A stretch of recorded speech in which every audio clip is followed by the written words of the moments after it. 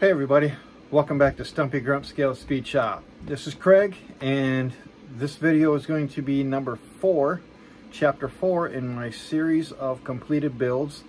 And this one will entail builds number 16 through 20.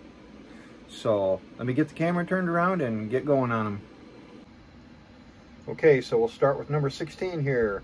The Revell 1969 Camaro Z28. This is the second one I've done. And I did this one as a tribute to my favorite cartoon growing up. Uh, who am I kidding? I still haven't grown up. But regardless, this is the tribute to Scooby-Doo. This was done in 2019. And Scooby-Doo was introduced in 1969. So 50 years. And I chose the 1969 Camaro. Once again, 50 years. So I thought it was a pretty good, pretty good one to use as a tribute. Um, this one was painted in Testors Extreme Lacquer Root Beer.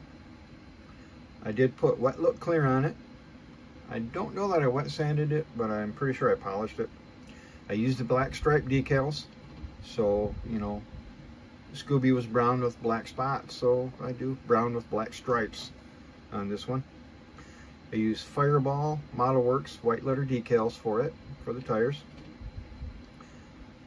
I use BMF bare metal foil for the trim, all the window trim, front, back, and sides.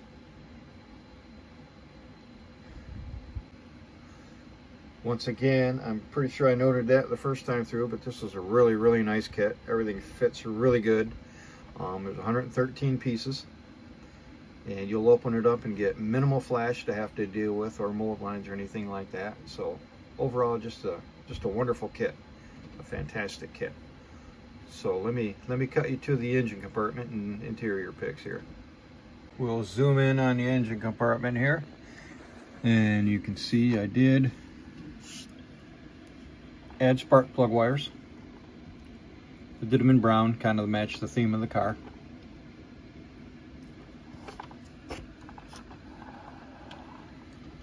swing it back around.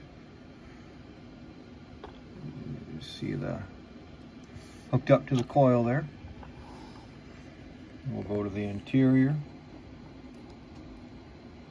Basic black interior.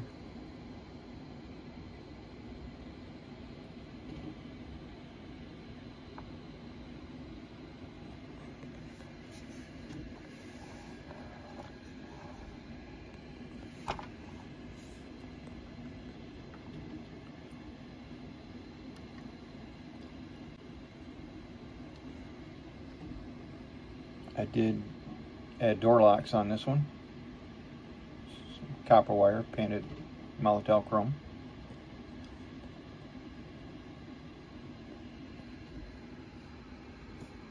Zoom back out.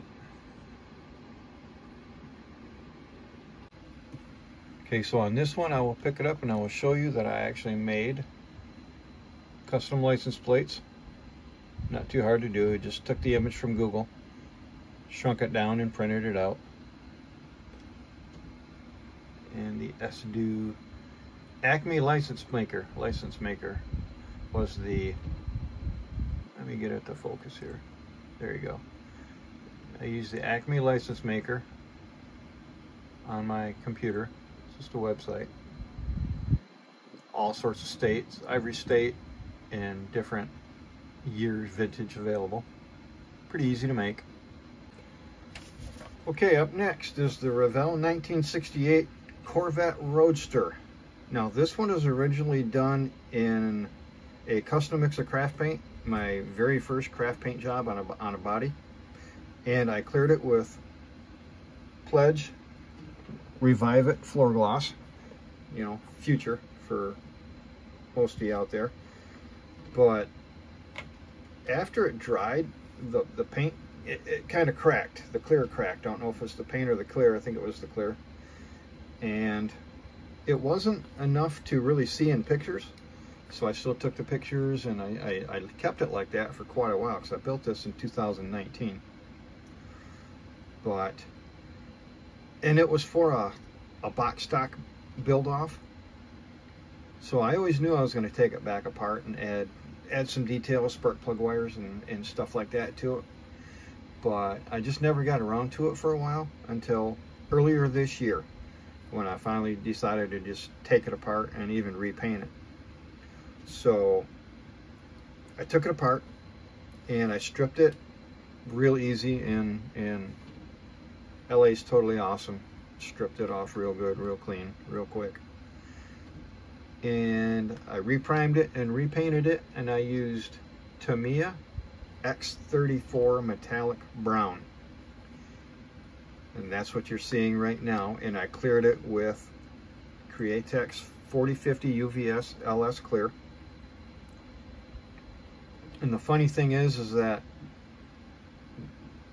the X34 metallic brown is almost an exact match to what my wife mixed up as a custom color for me for this. So kind of funny. You almost couldn't tell the difference between the two you can see right here this is with no top. I will put the convertible top on it. Okay, so here it is with the soft top on it.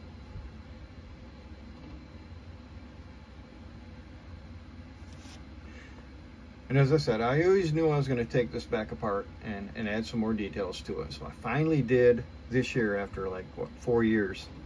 I finally took it apart and added some details. I'll show you those in just a moment. And we'll zoom in on the engine compartment on the Corvette here and you can see I added spark plug wires. You can see the coil there. That is machine coil from off the sprue dot com. He's got some pretty cool detailing supplies and wheels and tires and all that stuff. He's got a lot of good products. Check them out. Offthesprue.com. And we'll spin it around to the other side. And you can see the heater hoses I added. A little bit of texture to them. I was using the leather cord at the time.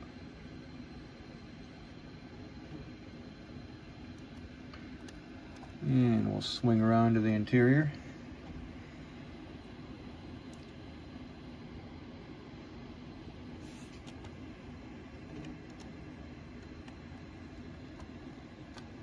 Just khaki craft paint on the interior.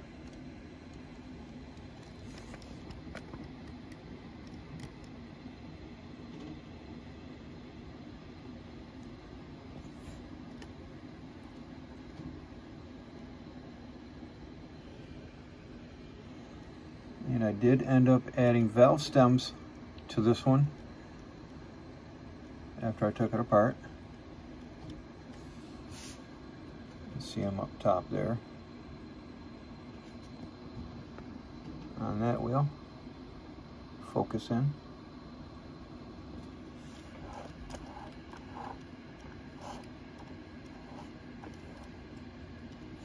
And we'll zoom back out.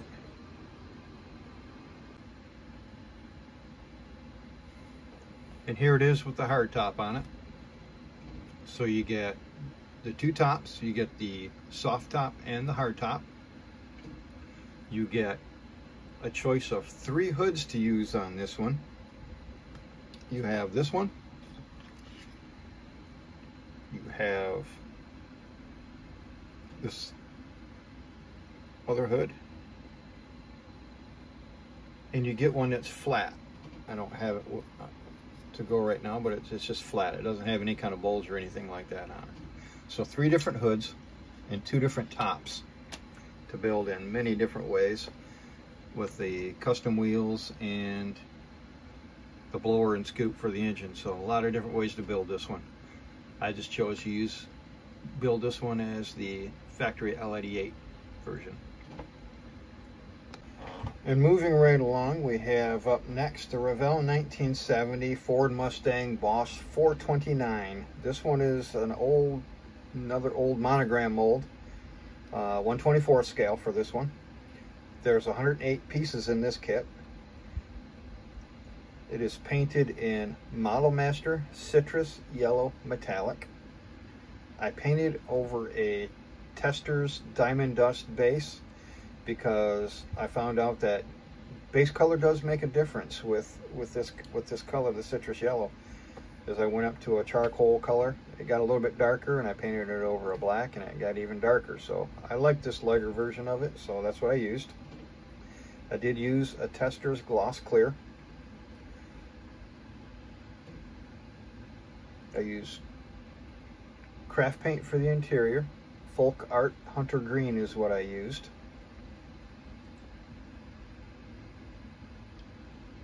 Um, I did wire the engine and I used bare metal foil for all the trim. I'll take us in closer to take a look at the engine compartment. I did add spark plug wires to it. Did them in green to match the theme of the car, green car.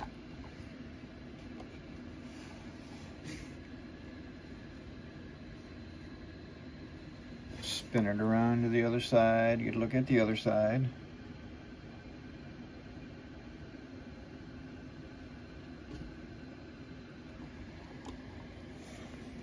And we'll move to the interior.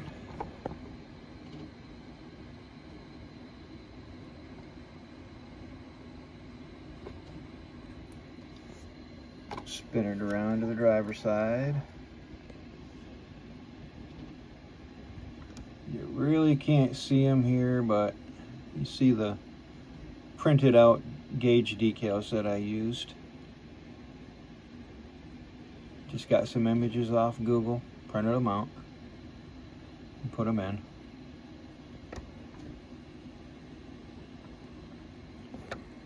Oops. And you can see some wood grain I did for the steering wheel, center console background to try to catch the dash a little bit. There you go. Get a little shot at the clock and the dashboard too. Okay, we'll zoom it back out. Kit does come with louvers. I have them mainly off. Um, you can just set them on or glue them on or whatever you want, but they can be added or subtracted whenever whenever you feel like it for all my pictures, I pretty much left them off. So again, this is just a, another great old former monogram mold. Just an excellent kit. They, they made quite a few good ones back then, Monogram did, and this is just one of them. Up next, we have the Monogram 1970 Buick GSX. This is in 124 scale. This is another old monogram mold, another old monogram kit. There's only 86 pieces in this one, a little more basic. This is not the Revell re-release that they just released um, late last year, early this year. This is um, an older monogram release. I would love to have the one of the new releases or whatever, do another one, but this one, I just, I know they only made them in yellow and white, from the factory in real life, but I, I just couldn't bring myself to do it. So I, I looked around, did a lot of research on Google and stuff to see what color I could use. And I came up with the light gunmetal TS42. I thought it would really be a nice contrast against these black stripes. And I used TS13 clear. I painted the hood stripes on. That was the most challenging part of the kit was was taping off and striping, painting the stripes on, molten, taping off the stripes because you have that center missile shaped stripe that's in white and yellow and it has the red outline. I, now if they just made that red outline, you know, and left the middle blank and made these decals, that would be awesome but and they kind of, I guess they expect you to either do it in yellow or white and not veer off on the colors like I did. But yeah, that was a trick, but I learned a lot and it was, it was, it was kind of fun to do. It took a lot of patience and took two or three tries, but, but I got it.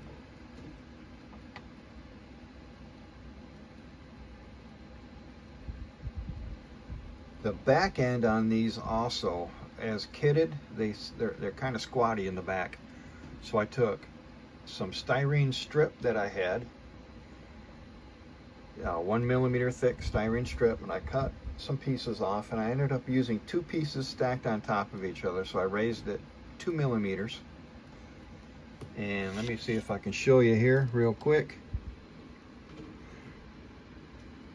Right under there, where the suspension piece glues as my hood falls off to the chassis, I added two one millimeter pieces of strip there and underneath these springs,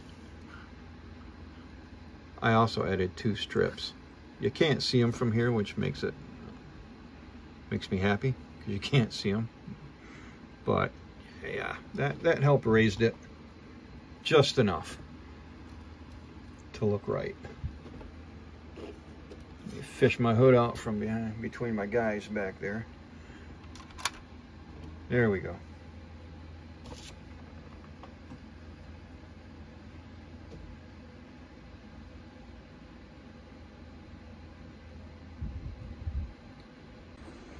Take you in for a closer look at gen compartment on this one. You can see I did wire it again. Use the yellow wires for this one. Simulate the maybe the Accel, famous old Accel spark plug wires in yellow from the day. And the other side.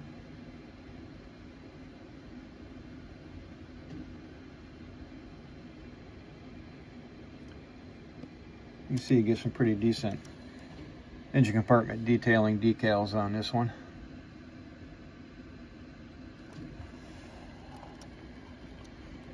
And we'll go to the interior, once again the wood grain on the shifter handle and the center console.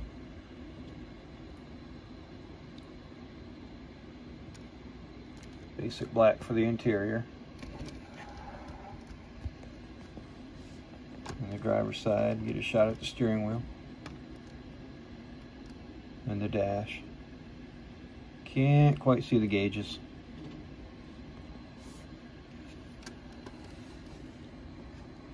And your back seat. Not too many cars I can get a back seat view on, but this one can. Good shot of the center console. Again, that is paint, that is not a decal. And we'll zoom it back out. So again, just a just a really really nice old old kit from Monogram. Just love these old muscle car kits that they put out back then. And we go to our final one for the day for this part is the monogram 1966 Ford Mustang GT350. This is the Shelby GT350. Yet another monogram mold. That'd be the third three in a row that I did. Uh, this one has 89 pieces. I painted it in Tamiya TS51 Racing Blue or even use what's called Telefonica blue as well. This was done over, again, a Testors Extreme Lacquer Diamond Dust base. I also spoon tested it over a graphite dust, which is a gunmetal, and then a metallic black, the blazing black, and it darkened the color exceedingly as, as you went up in, in darkness on the base coat. So I stuck with the silver base coat and a little bit of a lighter blue. Not really light light, but lighter than the other spoons. Although they were great colors. I cleared it with TS13 clear. I tried to use the stripe decals going down the the hood and the roof and the and the deck lid there, but I, I couldn't get the trunk stripes. I did those first. I couldn't get them to lay down quite right. And as I tried to move them around, they just ended up breaking apart because I moved them too much. Any any decal will do that, even the best decals. So try not to move your decals around too much. I did leave the the lower body panel stripes on. Those went on good, and I, so I kept those on. contrast the color a little bit.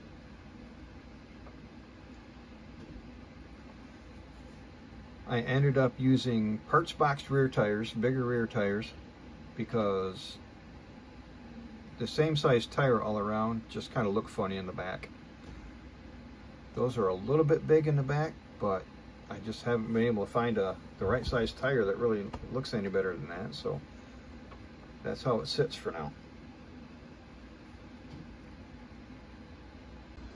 And we'll take you in for a closer look at the engine compartment on this one. You can see the yellow performance spark plug wires. I added a coil out of some piece of sprue. Just sanded it down and drilled a hole in it and painted it to make it look like a coil.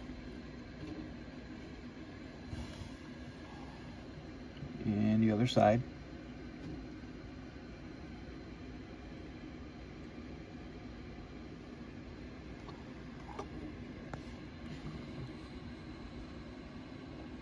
This one you can actually get a pretty good look at the decals, the dashboard, gauge decals and whatnot. swing it around to the driver's side. The same look, there you go, a good shot of the gauge decals there. And the horn button.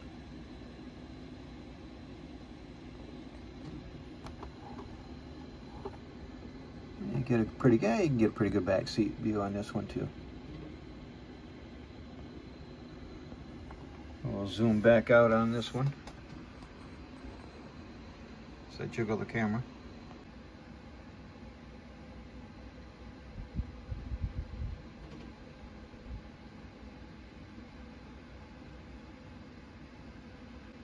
just a great old monogram kit with their usual good fit. Pretty decent details molded in. They may not give you extra parts, but the parts that they give you are, are nicely detailed, easy to detail paint. So,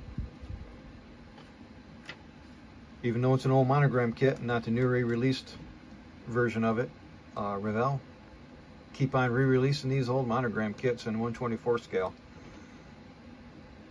They're some of the, the best kits ever made despite being older molds. They, they've held up to the test of time.